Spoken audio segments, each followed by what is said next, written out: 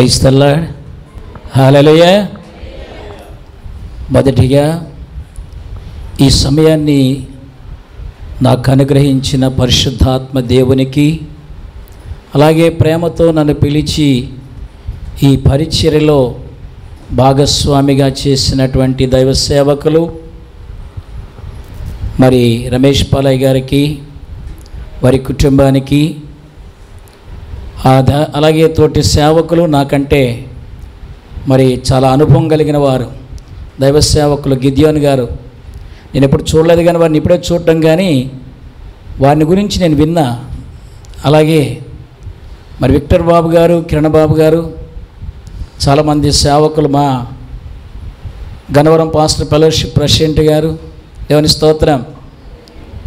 మరి వీళ్ళందరి మధ్య వాక్యం చెప్పటం అంటే దేవుని స్తోత్రం కలుగునగాక. ఏమైనా దేవుని యొక్క మహాకృపని ఇట్టి అవకాశాన్ని కల్పించిన దైవ సేవకులకు మరొకసారి ప్రత్యేకమైన వందనాలు తెలియజేస్తూ హక్కయ గ్రంథంలో రెండో అధ్యాయము ప- పంతొమ్మిది వచనంలో సెకండ్ పార్ట్ అది. ఒక్క భాగం ఒక్క ఒక్క మాట చిన్న మాట ఉంది అక్కడ. చదువుకున్న హగ్గయ గ్రంథము రెండవ అధ్యాయము. రెండో అధ్యాయాలు అవి. పంతొమ్మిదో ఉన్న చివరి మాట. అయితే ఇది మొదలుకొని నేను మిమ్మును దేవునికి స్తోత్రం. హాలలుయ ఒక్కసారి మీరు తలలు వంచితే చిన్న ప్రార్థన చేసుకుందాం. పరిశుద్ధుడైన అయిన మా యేసు ప్రభు మీ ఘనమైన నామాన్ని బట్టి వందనాలు స్తోత్రాలు నాయనా.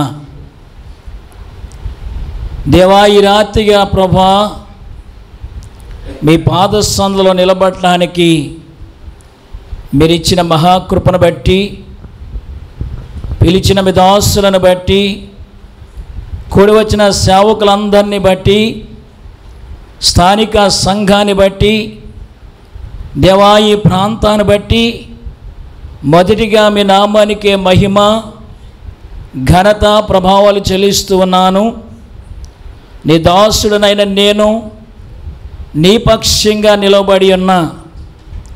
నా జ్ఞానము కాదు నా తెలివంతకన్నా కాదు నా శక్తి కానే కాదు కానీ మీ జ్ఞానము మీ తెలివి మీ శక్తి ప్రభా మా పక్షంగా నా పక్షంగా ఉంచి ఈ రాత్రికాల సమయంలో మీరు నాతో మాతో కూడా మాట్లాడమని నీ మహిమ కలిగిన నామాన్ని బట్టి మరొక్కసారి బ్రతిమలాడుతూ వాక్యమయ్యన్న యేసు క్రీస్తు వారి నామంలో ప్రార్థిస్తున్నాను తండ్రి. ఆమేన్. Praise the Lord. హాలలుయా మనం చదవబడిన వాక్య భాగాన్ని మరొకసారి జ్ఞాపకం చేస్తే అయితే అన్నాడు. అయితే ఇది మొదలుకొని నేను మిమ్మును ఏకవచనం బహువచనం అది. నేను మిమ్ములను ఆశీర్వదించుదును. ఈ రాత్రి దేవుడు మళ్ళీ ఆశీర్వదించబోతున్నాడు. మిమ్మలనగా ఈ రాత్రి మనతో మాట్లాడుతున్నాడు దేవుని యొక్క సేవకుల నుంచి. ఆయన మనను ఆశీర్వదించే దేవుడు. ఏ ఆశీర్వాదం కొరకు మనం ఇక్కడికి వచ్చి ఉన్నాం? శారీర ఆశీర్వాదం ఇచ్చాడు దేవుడు. ఆత్మీయమైన ఆశీర్వాదం కొరకు ఈ రాత్రి ఈ కుటుంబం మనందరినీ కూడా ప్రేమతో ఏం చేశారు? ఆహ్వానించి ఉన్నారు. దేవునికి స్తోత్రం. హాలలుయా.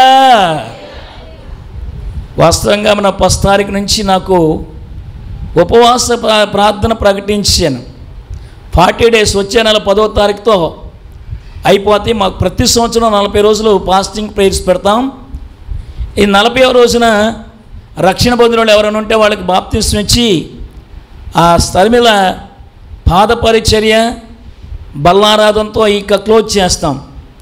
ఈ నలభై దినాల్లో ఈ సంవత్సరం లేటెస్ట్గా ఏం చేస్తామంటే మార్నింగ్ ప్రేయర్ కూడా ఉదయం ఐదు నుంచి ఆరు గంటల వరకు. మార్నింగ్ ఉదయం ఐదు గంటల నుంచి ఆరు గంటల వరకు. పగలలేదు ఎందుకంటే మన వాళ్ళంతా పని చేసుకోవడానికి వెళ్ళిపోతారు. సాయంకాలం మళ్ళీ ఏడు గంటల నుంచి తొమ్మిది గంటల వరకు. ఈ విధంగా ప్రకటించిన తర్వాత దైవ సేవకులు మరి ఎనిమిదవ తారీఖు తప్ప రావాలని చెప్పటం. సరే మా వాళ్ళకి చెప్పాను నేను ఉండను ఈ రోజున. మీరు ఆ పాస్టింగ్ ప్రేయర్ జరిపించాలి. ఈలోపు ఇంకొక సమస్య. ఓ దైవ సేవకులు విజయవాడలో ఎనిమిది తొమ్మిది పది తేదీల్లో ఆయన గుప్తా కళ్యాణ మండపంలో కూటాలు అరేంజ్ చేసుకున్నాడు. ఆయన ఇప్పుడు నాలుగు రోజుల బట్టి నా ప్రాణం తీస్తున్నాడు. మీరు లేకపోతే ఎలాగ? వ్యాయామం లేకపోతే ఎలాగ? నేను ఎలా వస్తాను నీకు? నేనే నా సంఘంలో ఉపవాసకుడిగా సాటించుకుంటే రెండవది ఎనిమిదవ తారీఖు నేను అల్లాపురం వెళ్ళాలని చెప్తుంటే నీ దగ్గర నేను ఎలా వస్తాను? రాను. ఆయన చాలా బాధగా నిష్ఠూరంగా మాట్లాడాడు రాత్రి ఫోన్ చేసి.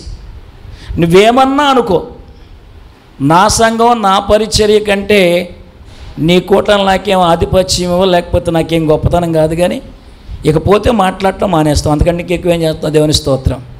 హాలలుయా! హలేలుయా!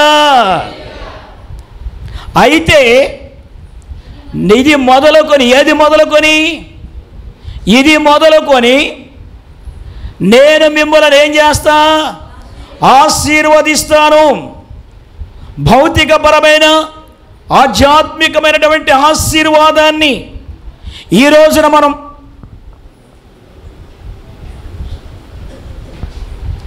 ఈ రోజున మనం నేర్చుకోవలసిన వారమై ఉన్నాం. దేవునికి స్తోత్రం కలుగునుగాక హాలలుయా చూడండి రెండవ రాజుల గ్రంథము నాలుగవ అధ్యాయములో పదమూడవ వచ్చినాన్ని మనం చదువుకుందాం.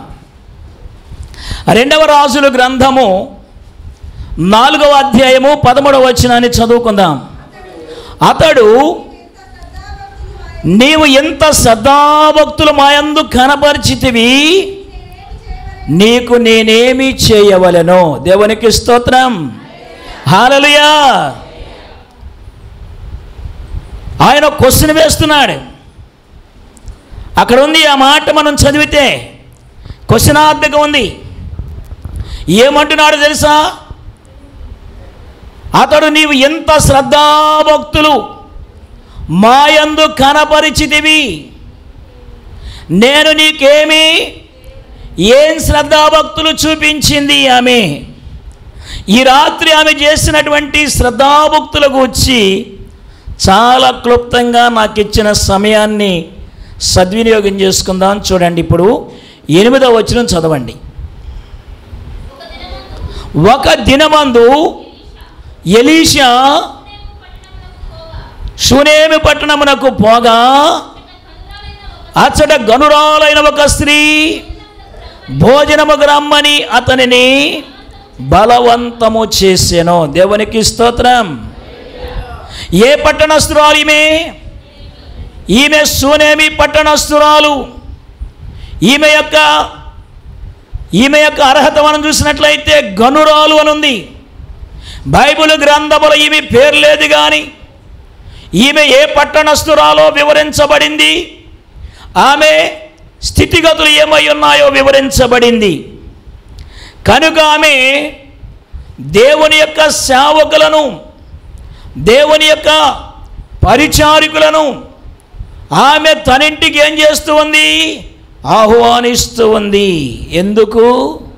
భోజనానికి చదవండి అక్కడ. ఆ, ఆ మార్గమున వచ్చినప్పుడల్లా ఆమె ఇంట భోజనము చేయొచ్చు దేవునికి మహిమ కలుగునుగాక. హాలలుయా ఆయన ఏం చేస్తూ ఉన్నాడు? ఆమె బలవంతం చేస్తూ ఉందట.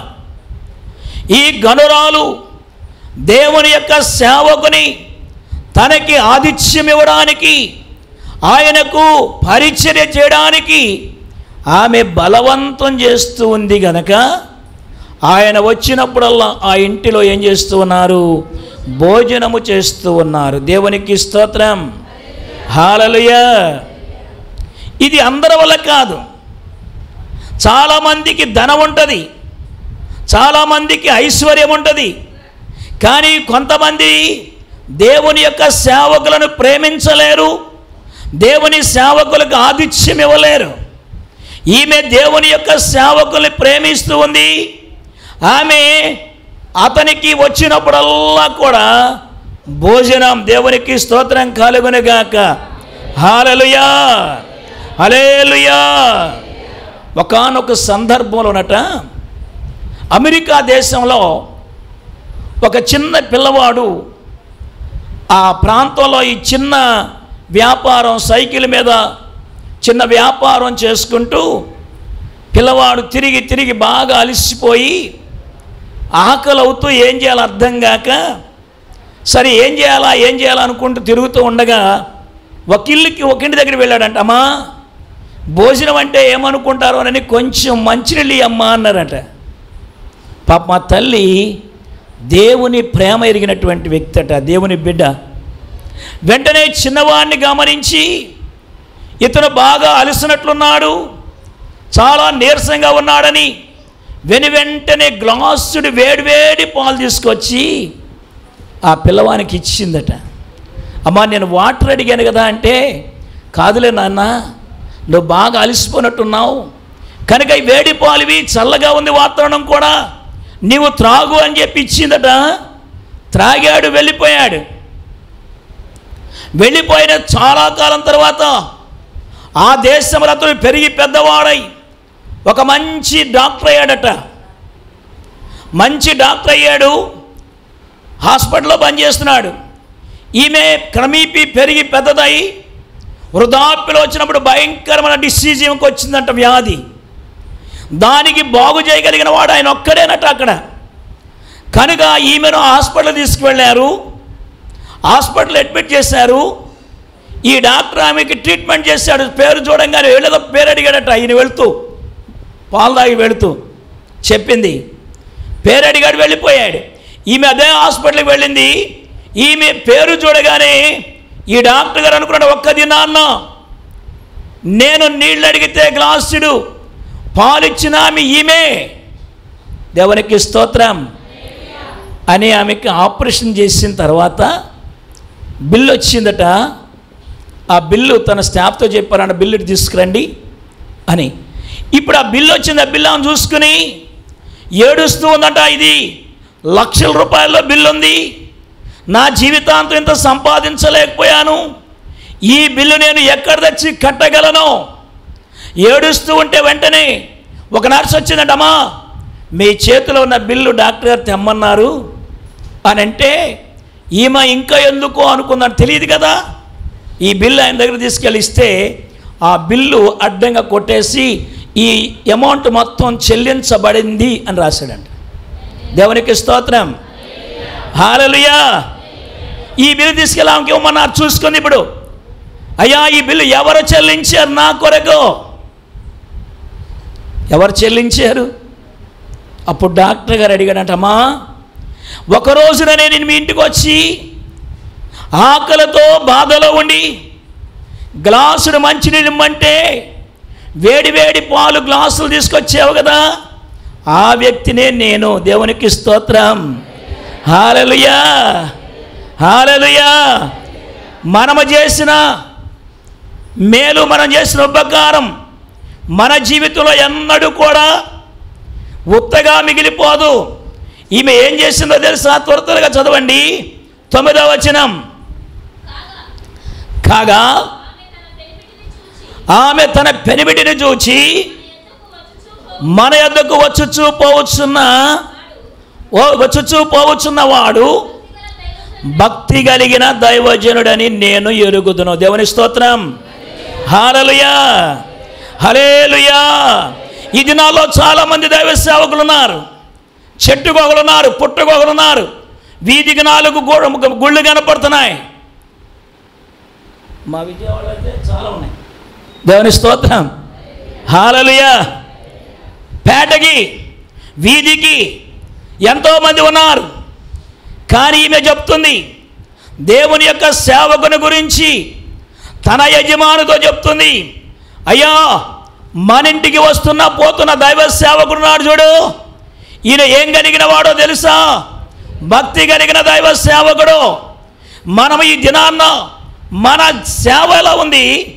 మన భక్తి ఎలా ఉంది? మనము ఎలా జీవిస్తూ ఉన్నాం? ఈ రోజున మనం క్వశ్చన్ వేసుకోవాలి.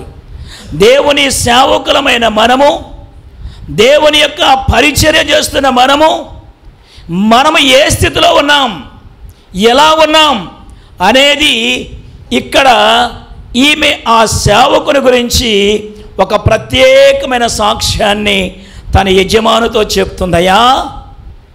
మరింటికి వస్తూ పోతున్న దైవ సేవకుడు నాడు చూడు. ఆయన దైవ సేవకుడు భక్తి కలిగిన వాడు. అనగా ఈమె అతను ఏం చేస్తూ ఉంది. ఈమె ఆయన ఏం చేస్తూ ఉంది. గమనిస్తూ ఉంది. ఆయన ప్రవర్తన ఆయన నడవడిక ఆయన జీవిస్తున్న విధానము ఆయన మాట్లాడుతున్న మాటలు ఆయన చూస్తున్నటువంటి చూపులు ఆయన చూస్తున్నటువంటి చేస్తున్నటువంటి పనులు ఈమె ఏం చేస్తూ ఉందో తెలుసా? గమనిస్తూ ఉంది. దేవునికి స్తోత్రం. హాలలుయా. అరేలుయా ఈమె తన యజమానితో ఏం చెప్పిందో చదవండి. కావున మనము అతనికి గోడ మీద ఒక చిన్న గది దేవునికి స్తోత్రం. ఎందుకు? ఎక్కడ? ఎందుకు? ఎక్కడ? దేవుని యొక్క సేవకుని కరెక్ట తన ఇంటి పైన గోడ మీద ఒక చిన్న గది కట్టించాలని చెప్తుంది తన యజమానితో. ఎందుకో తెలుసా?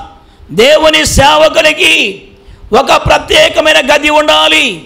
ఆయన వచ్చినప్పుడల్లా ఆ గదిలోనికి వెళ్ళి ఆయన అక్కడ సేద తీర్చుకుంటాడు. దేవునికి స్తోత్రం. అంతేకాదండి ఆయన కొరకు ప్రత్యేకమైన నాలుగు వస్తువులు సమర్పించింది అక్కడ. చదవండి ముగించుకుందాం. అందులో అతని కొరకు మంచము దేవునికి స్తోత్రం. మొట్టమొదటి మంచము మంచం ఎందుకు? ఈ మంచం అనేది మన ప్రభు అయిన యేసు క్రీస్తు వారికి సాదృశ్యము. మంచం ఎందుకో తెలుసా? పగలంతా శ్రమించిన మనము సాయంత్రానికి ఇంటికి వెళ్ళిన తర్వాత ఎక్కడ వండుకుంటాం ఎక్కడ వండుకుంటాం మంచం మీద ఎందుకు? విశ్రాంతి. ఎందుకు? విశ్రాంతి. పగలంతా కష్టపడ్డాం కదా. ఎవరైనా సరే చూడండి పూర్వ దినాల్లో ఇప్పుడులాగా డబుల్ కాట్లు సింగిల్ కాట్లు కాదు నులక మంచాలు ఉండేవి. దేవునికి స్తోత్రం. హాలలుయా. ఎందుకో తెలుసా? శ్రమించి కష్టపడిన మనం ఈ రాత్రి సేద తీర్చుకోవడానికి ఏం కావాలి మనకి? మంచం కావాలి. మన ప్రభు అయిన యేసు క్రీస్తు వారు దీనికి సాదృశ్యం దేనికో తెలుసా? మంచానికి చదవడం మత్తయి వార్త పదకొండు అధ్యాయము ఇరవై ఎనిమిది ఇరవై తొమ్మిది వచ్చినారు మతీసు వార్త ప్రయాసపడి భారం మోసుకొనుచున్న సమస్త జనులారా నా యొద్దకు రండి.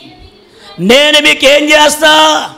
విశ్రాంతి లేకపోతే ఎంతకాలం బ్రతుకుతావు? విశ్రాంతి కావాలంటే ఏం కావాలి నీకు? మంచం కావాలి. దేవునికి స్తోత్రం. హాలలుయా. హాలలుయా.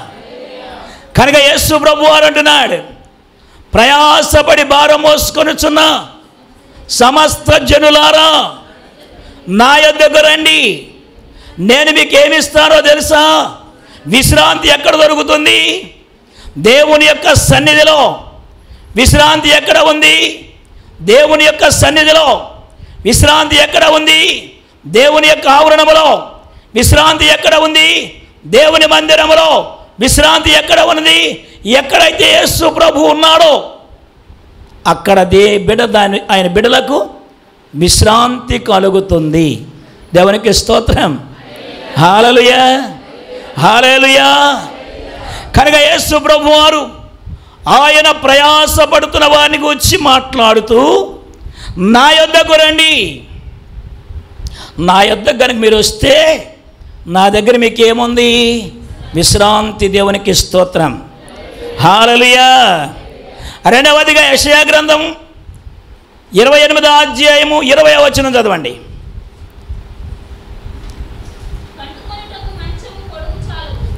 పండుకొనుడాకు మంచము పొడుగు చాలదు. కప్పుకోవడానికి దుప్పటి. ఏమండి? మనం చేసుకునే మంచాలు ఉన్నాయి చూడండి. మనం పడుకోవడానికి కొన్ని మంచాలు ఏం చేయవు చాలకపోతే ఏం చేయాలండి? అయ్యగారు బాబు గారు దేవుని స్తోత్రం మంచం చాలిపోతే ఏం చేయాలి? నిద్ర వస్తుందా? దుప్పటి చాలిపోతే అంటే మంచం కానీ దుప్పటి కానీ సరిపడా? సరిపడా? సరిపడా? ఉండాలి. మంచం చాలిపోతే బారుగా ఉన్న నా బిడ్డ లాంటి రాజేష్ బాబు లాంటి వాడికి మంచం చాలిపోతే దేవుని స్తోత్రం నిద్ర రాదు. దేవునికి స్తోత్రం. హాలలుయా కనుక మనసు ఎలా ఉండాలి? అందుకే యేసు ప్రభు పిలుస్తున్నాడు. ఆయన మంచమై ఉన్నాడు. ఆయన మనకి విశ్రాంతి ఇచ్చేవాడు. ఆయన మన ప్రాణములను తెప్పరలు చేయవాడు. ఆయన మనకి ఆదరణ ఇచ్చేవాడు. కనుక మే దేవుని యొక్క సేవకుని కొరకు ఏం చేసిందో తెలుసా? మంచాన్ని ఏర్పాటు చేసింది. దేవుని స్తోత్రం. హాలలుయ. హాలలుయ. హాలలుయ. రెండవదిగా బల్ల. దేవునికి స్తోత్రం. ఈ బల్ల అనేది దేవుని యొక్క సహవాసానికి గుర్తు. ఏమండి? దేవునితో సహవాసానికి. అందుకని కీర్తనాకాడు రాస్తాడు.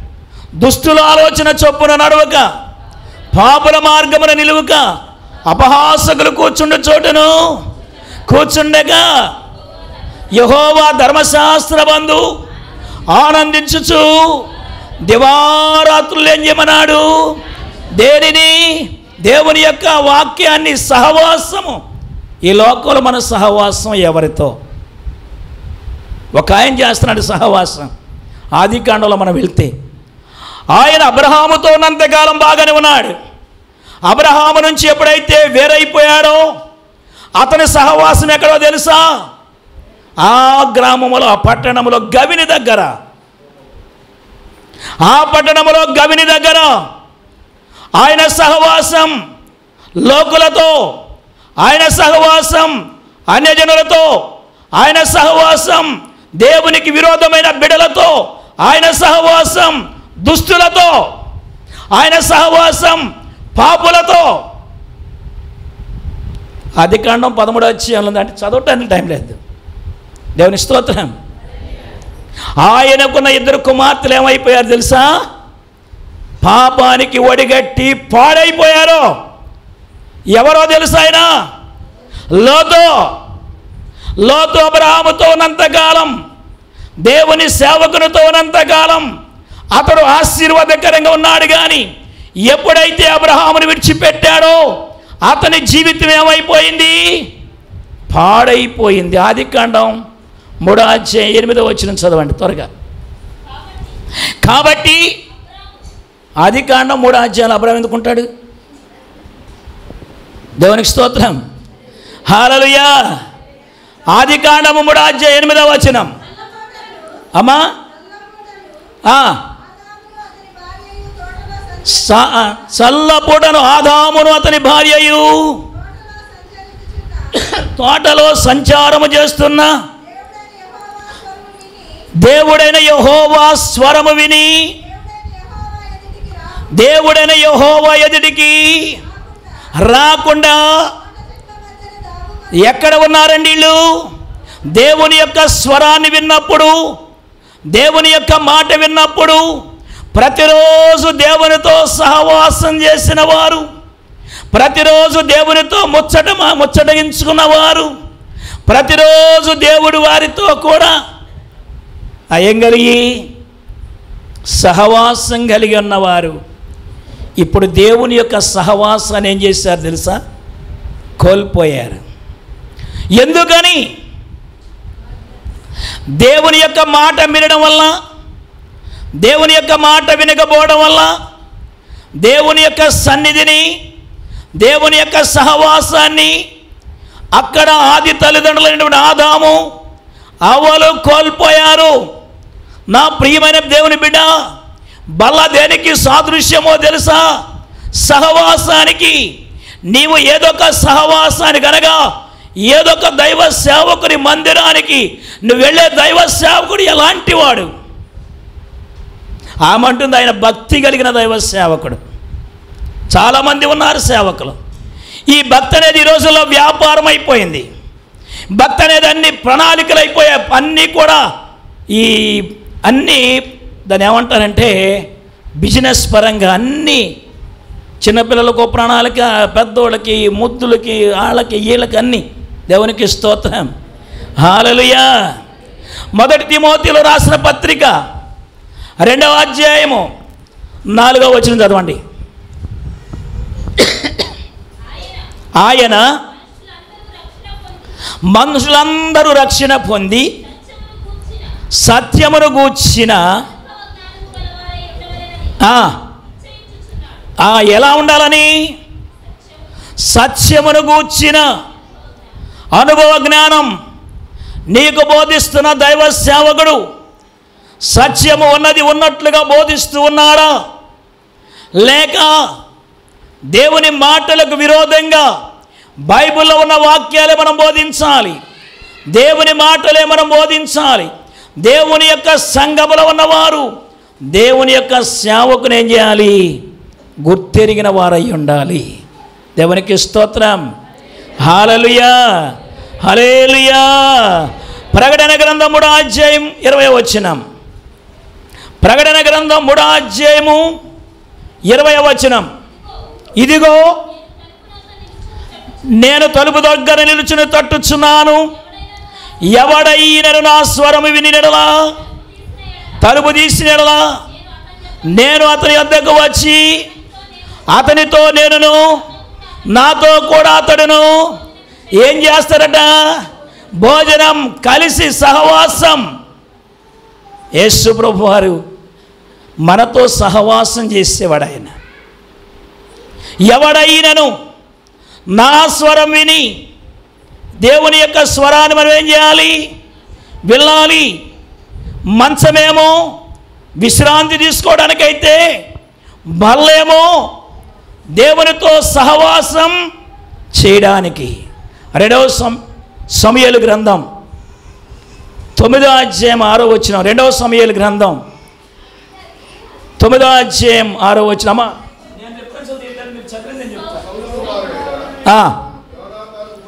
యోనాతానుకు పుట్టిన మెపి భవిష్యత్తు దావీదు దగ్గరకు వచ్చి చూడండి సౌలు తన కుటుంబం అంతరించిపోయింది. దేవుడు సౌలను విసర్జించాడు. ఆ ధర్మిలా దేవుడు దావీదుని రాజుగా ఏర్పాటు చేసుకున్నాడు. ఈయన సింహాసనం మీద కూర్చున్న తర్వాత ఈ రాజుగారికి ఒక ఆలోచన వచ్చింది. నేను యోనాతాను బట్టి యోనాతాను దావీదు కూడా ప్రాణ స్నేహితులు.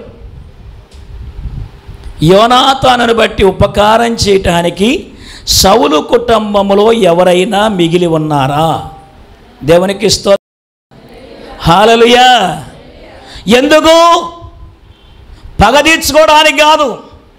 సా దేవుని యొక్క ప్రేమను పంచుకోవడానికి ఒకరు చెప్పారు అయా సౌలు కుటుంబంలో ఒక్కడు మిగిలి ఉన్నాడు. అతడు మెప్పే భవిష్యత్తు. అతనికి రెండు కాళ్ళు. లేవు ఎక్కడ ఉన్నాడు? లొదేవారులో ఉన్నాడు. దేవునికి స్తోత్రం. లొదేవారనగా అనగా మేత లేని స్థలం. లొదేబార్ అనగా దేవుని ప్రేమను ఎరగని స్థలం. లొదేబారులో ఉన్నాడు. మాకీర్ అనగా నల్లని వాడు దురాత్మల సమూహముల మధ్య దేవుని ఎరగని ప్రజల మధ్య దావీదు రాజుకి భయపడి దాక్కున్నాడు. అయితే అతన్ని పిలవండి అన్నాడు. దేవునికి స్తోత్రం. ఇప్పుడు అతను వచ్చాడు వస్తూ జరగడ వణుకుతున్నాడు. ఎందుకో తెలుసా? రాజు కదా ఆయన? ఇంత క్రితం మా తాతగారికి ఆయనకి? ప్రతినిత్యము ఏముండేది? పగ.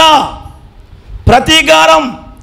ఒకవేళ ఈయన రాసయ్యాడు అయ్యాడు నన్నెక్కడ పగ ప్రతీకారం తీర్చుకుంటాడో అని గడగడ గడగడ వణుకుస్తూ వస్తే రాజు అయిన దావీదు ఏం చెప్పాడు? చదవండి ఒక్క మాట ఉంది అందుకు దావీదు నీవు భయపడవద్దు. నీ తండ్రి అయిన యోనాతాను నిమిత్తము నిజముగా నేను నీకు ఉపకారము చూపి.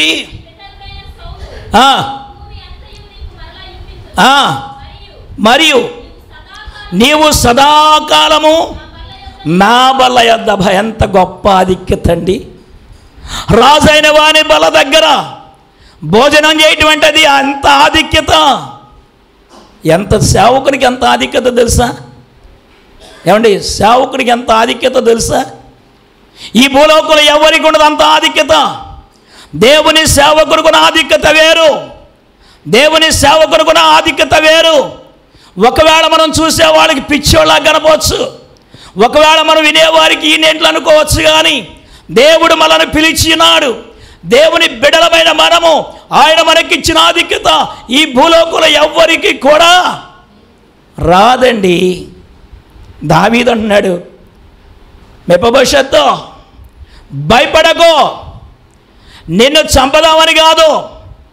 నీ యొక్క తండ్రిని బట్టి నీకు ఉపకారం చేయాలని కనుక నీవు సదాకాలము ఒక్కరోజు కాదు సదాకాలము నా బల్ల దగ్గరే నేను ఏం తింటే అది నువ్వు తినో. రాజుల భోజనం అంటే మామూలుగా ఉంటుందా? దేవునికి స్తోత్రం. హాలలుయా హలేలుయా ఏ భోజనం? రాజులు తినే భోజనం. కనుక ఆమె ఏం చేసింది రెండవది? మళ్ళా దేనికి? సాదృశ్యం. సహవాసానికి. మనల్ని పిలిచిన దేవుడు ఆయన దేవుడు రెండవది మానవుడు కూడా. ఆయన రెండు పాత్రలు కలిగిన వాడాయన ఆయన దేవుడై ఉండి కూడా నరావతారిగా ఈ భూలోకానికి నరుడిగా ఏం చేశాడు ఆయన? వచ్చాడు. నరుడిగా వచ్చి మళ్ళను ఈ నరావతారములో ఉన్న మళ్ళను ప్రేమించిన వాడాయన. ప్రేమించి నేను ఎక్కడ తీసుకువెళ్ళాలని? పరలోక రాజ్యానికి చదవండి. యోహాను వార్త పద్నాలుగో అధ్యాయంలో ఉంది. యోహాను సువార్త పద్నాలుగో అధ్యాయంలో వ్రాయబడి చదవండి. రేపు చెప్పాలా? అమ్మ నేను చదవాలి నేను తీసుకోవాలి. చదవండి. అది దేవుడిని దీవించింది గాక. నా తండ్రి ఇంటి అనేక నివాసములు గలవు. లేని మీతో చెప్పుదును. నేను స్థలము సిద్ధపరచ వెళ్ళుచున్నాను. నేను వెళ్ళి మీకు స్థలము సిద్ధపరిచి సిద్ధపరిచిన ఎడల నేనుండు స్థలములో మీరులో ఉండులాగున మరలా వచ్చి నా యొద్ద ఉండడానికి మిమ్ములను సహవాసం ఎగవరా ఎక్కడ? ఆయన ఎక్కడైతే ఉన్నాడో అక్కడ మనం సహవాసం చేయడానికి దేవునితో సహవాసం చేయడానికి దేవుని దగ్గర ఉండడానికి ఆయన మళ్ళా ఒక దినాన్ని ఏం చేయబోతున్నాడు? రాబోతూ ఉన్నాడు. ప్రైజ్ దల్లాడ్ హాలలుయా హలేలుయా మూడవదిగా మనం గమనించినట్లయితే మూడవది ఏముంది? అమ్మా దీపస్తంభము. దేవునికి స్తోత్రం. పీట. అది పీట. పీట చూడండి. పీట దీపస్తంభం ఉంచుదుము. కనుక దేవుని యొక్క వాక్యాన్ని మనం గమనించినట్లయితే ఇది ఉపదేశం పొందడానికి గుర్తు. దేనికండి? ఉపదేశము. పీఠ ఉపదేశం లోకాస్వార్త పదాధ్యాయము. ముప్పై ఎనిమిదో వచ్చిన చదవండి. లోకాస్వార్త పదో అధ్యాయము. మార్తాను మార్తా అని ఒక స్త్రీ ఆయనను తన ఇంట చేర్చుకొనెను. ఆమె మరియాను సహోదరి. చూడండి నేర్చుకోవడం అని చెప్పొచ్చు దీన్ని. నేర్చుకోవడం. ఈమెకు ఒక సహోదరి ఉంది. ఆమె ఎక్కడ కూర్చుంది? యేసు పాదాల దగ్గర కూర్చుంది. ఎందుకు? ఆయన మాటలు వినడానికి. ఆయన ఉపదేశాన్ని వినడానికి. ఆయన పరలోక రాజ్య మర్మాలు వినడానికి. నా ప్రియమైన దేవుని బిడ్డ నీవు దేవునితో సహవాసం కలిగి ఉంటే ఆయన మాట నువ్వు శ్రద్ధగా వింటే నీకేంటో తెలుసా ఆరోగ్యము? దేవునికి స్తోత్రం. సామెతల గ్రంథం నాలుగో అధ్యాయం ఇరవై రెండో వచ్చినలో చక్కని మాట చదువుతాడు. మహాజ్ఞాని సులోమన్ చదవండి అన్నమాట సామెతల గ్రంథము నాలుగో అధ్యాయము. నా కుమారుడా నా మాటలను ఆలకించుము. నా నా వాక్యములకు నీ చెవి యొగ్గము అమ్మా